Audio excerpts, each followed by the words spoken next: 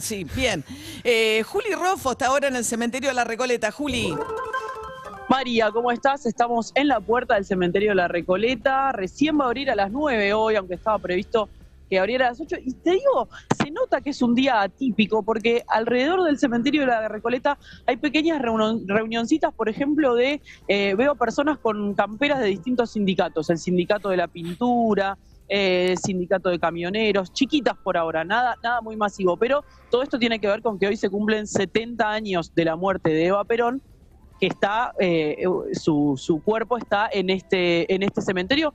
Llegó a este cementerio después de 1976, o sea, Eva muere en el 52, este, eh, su cadáver es secuestrado, ¿no? Secuestrado por la llamada Revolución Libertadora. Aramburu, eh, de quien vos conoces perfectamente la historia, eh, bueno, ordena que ese cadáver se lleve a eh, Italia con un nombre falso, con una historia falsa, con documentos falsos y con la connivencia de la Iglesia Católica, el Vaticano directamente, no, no la Iglesia local, sino directamente el Vaticano y eh, cuesta mucho tiempo que finalmente eh, Perón recupere el cadáver de Eva, el cadáver que había sido embalsamado con un trabajo que llevó 40 meses en la CGT.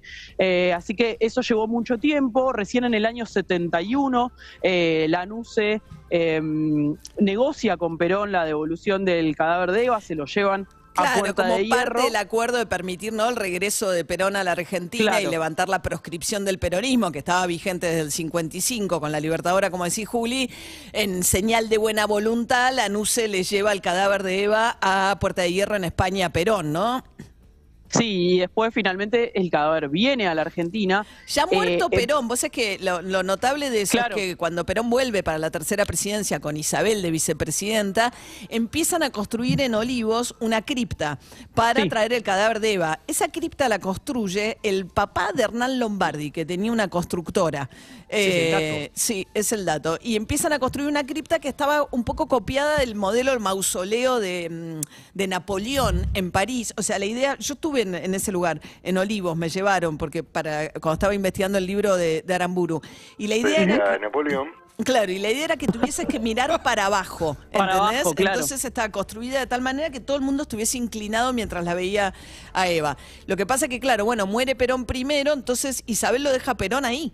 Y después, este, bueno, viene la historia que Montoneros entra a la Recoleta, una célula de Montoneros se roba el cadáver de Aramburu y le exigen a Isabel que traiga de una vez el cadáver de Eva. Y arman este intercambio de cadáveres, tan macabro nuestra historia, y así es que regresa el, cadáver que había sido vejado, además de Eva, a la Argentina, y durante un tiempito, fue el único tiempito que estuvieron juntos Eva y Perón, digamos los cuerpos de Eva y de Perón, en la cripta en Olivos, hasta el golpe del 76. Yo soy fanática de la historia. Claro, que ahí, ahí, ahí agarra... Videla hace que, claro, Videla hace que el cuerpo deje de estar eh, en la Quinta de Olivos y es que es trasladado finalmente acá al cementerio de la Recoleta. Ahí, un dato a mí? Decime, no, porque ahí el tema de que Videla dijo, no, no me va a pasar lo mismo que Aramburu, este, y entonces eh, le da a la familia, llama, le da a Isabel el cuerpo de Perón y le da a la familia Duarte el cuerpo de Eva. Por eso están separados, además. Perón estaba en la Chacarita y Eva Duarte está en la, en la tumba de la familia Duarte en el cementerio de la Recoleta, que es la, la, es la bóveda más visitada de la Recoleta, no es para nada la más vistosa, está en un pasillo lateral, no, es particularmente linda, pero la gente va ahí y obviamente por, el valor histórico, ¿no? Sí, y por el valor histórico, por el valor simbólico. Y hay un dato que a mí me llamó la atención cuando repasaba la historia de qué había pasado con ese cadáver de Eva eh, los servicios de inteligencia del ejército, que fueron los que durante años fueron moviéndolo del lugar, en algún momento estuvo en el altillo de la casa de uno de los integrantes de ese servicio y esa persona, ese, era un coronel del ejército, escucha ruidos a la noche, piensa que es una operación de la resistencia peronista para llevarse el cadáver de Eva y era su esposa embarazada, la mata de dos tiros pensando que estaban por llevarse el cadáver de Eva. Eso a mí me pareció como una ilustración de lo complejo y lo extremo que fue eh, todos esos años de ir y venir con el cadáver. Sí, y el que se obsesiona, ¿no? Y la, eh, sí, no es la misma persona. No es ¿eh? la misma persona, no. No, no es la misma persona. Y la historia del médico español, Ara, ¿no? Que viene a, embalsamarla, se pasa dos años trabajando en la CGT y se viene a España con toda su familia, con su mujer y sus cuatro hijos y se obsesiona también con hacer un trabajo con... El cadáver de Eva, la idea original de Perón, era... Eva estaba haciendo un monumento al trabajador, que lo estaba al descamisado, al lado de donde está eh, la TV pública, donde, está la, donde está la flor, metálica de Macri.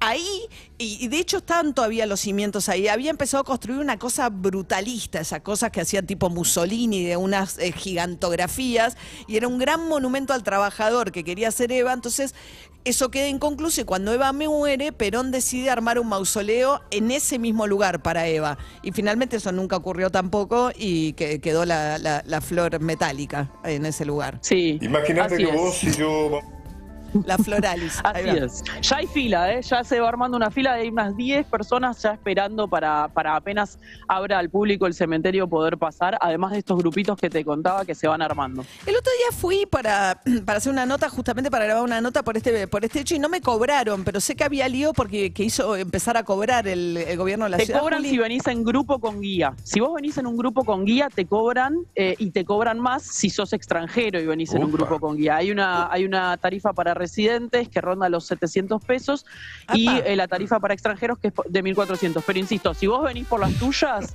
eh, bueno, vas, pasás y, no hay problema. El tema es cuando venís en un grupo eh, con guía turístico. Bien. Juli Rofo, desde el cementerio de la Recoleta, uno de los puntos hoy de homenaje en el 70 aniversario de la muerte de Eva Perón, que muere a los 33 años nada más, allá por 1952, en el apogeo de su popularidad. A las 20.25. Mira vos. Bueno, Juli, eh, que tengas buen día, gracias. Hasta luego. Y Peugeot Autoplan tiene el